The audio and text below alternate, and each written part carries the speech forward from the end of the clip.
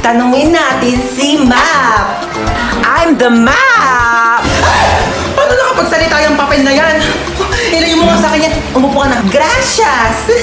Gusto kong umupo, pero hindi ko alam kung nasaan ang upuan. Saan kausap itong batang to, hangin? Buwang na yata itong batang to. Maaari mo bang ituro sa akin kung nasaan ang upuan? Oh my God!